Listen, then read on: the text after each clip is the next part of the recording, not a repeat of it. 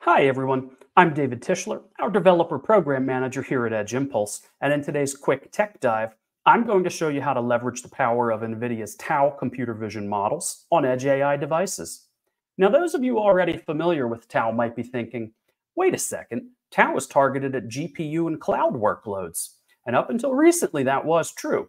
But we've now taken a large batch of the TAO models and made them small enough to fit on Edge AI devices like the NVIDIA Jetson based products and even some MCUs as well. Today, I'll use a Jetson, but this could also run seamlessly on production ready hardware like the Advantech AIR30, iCam 520 or 540, the AAEON Boxer series of NVIDIA powered gateways and computer vision devices, or other similar things. Let's get started.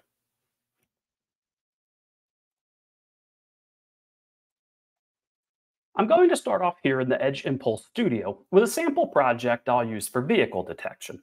This is a use case we see on a regular basis for security, smart city, traffic management, and of course, self-driving vehicles. In the traffic pattern analysis use case, you could likely get away with performing vision AI in the cloud, as you'd be interested in studying results after the fact to better optimize intersections and traffic light timing or understanding the relationships between vehicles and humans. But in the other scenarios, like security or autonomous navigation bots, real time inference results are critical. So, Edge AI and on device inference is the better solution there. It's worth noting that I'm using an enterprise account here, but our new pro plan will work. I'll click on data acquisition and what I've done thus far is found an open source data set on RoboFlow that is just a portion of the much larger COCO image data set. And it's specifically trimmed down to only vehicles and people. This data set also included bounding boxes and labels in XML format to go along with each image, saving me the time of doing the labeling myself. In production scenarios, though, you will of course want to validate and verify all training data that gets fed into a machine learning model. So you do your own labeling, but this is a quick way to demonstrate or test functionality. Now, the way I uploaded these images is simple. I've downloaded the data set from RoboFlow, unzipped it, and then you can simply use this upload icon here that will bring up this modal, and you can select the folder that has the images from your machine, and you can choose training, testing, or just automatically split them, and then click Upload Data to begin the process. Once complete, you'll see the pictures and their corresponding bounding boxes like I've got here. So with our data set ready to go, we can move on to creating an impulse, which is our machine learning pipeline where we'll configure processing and learning blocks to get ready for TAO. Clicking on Impulse Design on the left, you can see here that I have selected an image block and an object detection block, which will be required for this use case. For other use cases like keyword spotting, machine health, or wearables, you might need audio or time series blocks to process microphone or sensor data. But for TAO and Vision, this will be enough. On the image block configuration page, you can switch between RGB and grayscale and get a preview of raw and processed features for any item in the dataset. And over on the Generate Features page, you get a visualization of how your data is grouping together. Now, I don't have much visual separation or clustering here in this data set, but for data sets that have a high degree of discrepancy or variety in the samples, you'll see more distinct bubbles or zones in the Feature Explorer. Next, we'll come over to the object detection configuration page, and this is where we'll fine tune our neural network and training settings. I've gone mostly with the default settings here, though I did bump up the number of training cycles to a larger value and chose a slightly larger 2 million parameter backbone. You can also modify data augmentation, which will add some variety to the original images to try and build a more robust data set helping to create an end model that might generalize better in diverse real world conditions. And finally, scrolling all the way down, this is where we choose from a variety of architectures, TAO in our case today. You can see there are multiple options here, both TAO and other architectures as well, and there is even multiple choices from within the TAO family.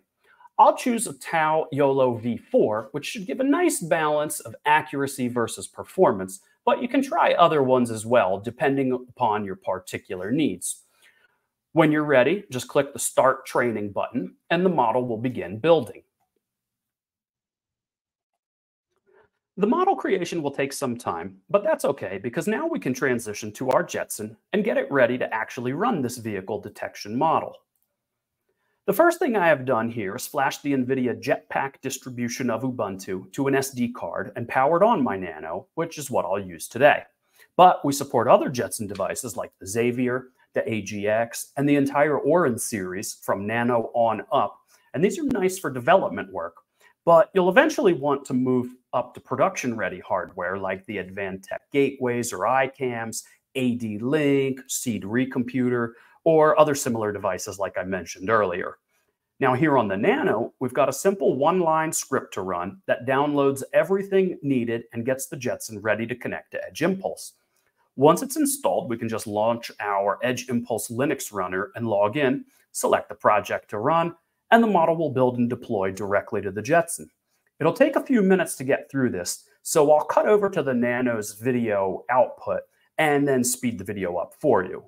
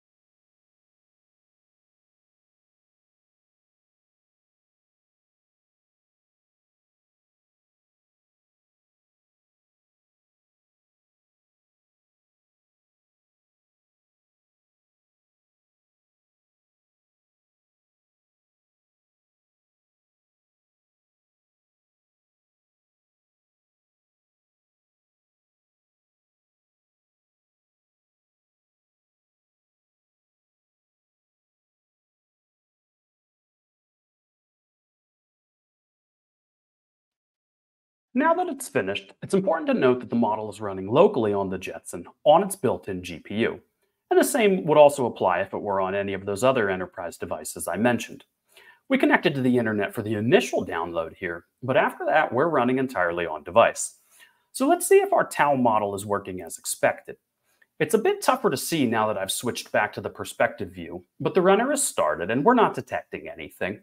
But I have a browser ready on the Nano that is just a Google image search, and sure enough, once I get that in front of us, we'll then see the console change with the objects detected being output on each line. But we also spin up a small web server to render the camera output when we launch the runner. So let's have a look at what the Jetson's camera sees. We'll just go to the IP address of the Jetson on the network, and we get a live view from the camera. And sure enough, there's the vehicles being detected. So TAO's picking up cars in this particular case, and we see the bounding boxes and confidence values. Here it's worth talking for just a moment about the path from prototype to production, though. So I built a vehicle detection model for a security or smart city use case, and I've used a ready-made data set and development hardware. Next on the journey would be to ensure we have a representative data set probably a larger mm-hmm. data set at that, and ensure there's variety in lighting, environmental conditions, etc. We'd probably want to start testing just right out on the street here. Then we'd want to test with the camera placed in the location of the final device to make sure the model works from its ultimate viewpoint. Better yet would be to capture actual data from the exact vantage point if possible. Then once you're confident in the model's ability, you can swap out to those enterprise grade devices as well. But for today, and to just get started, I've demonstrated that NVIDIA TAO can now be used on Edge AI devices.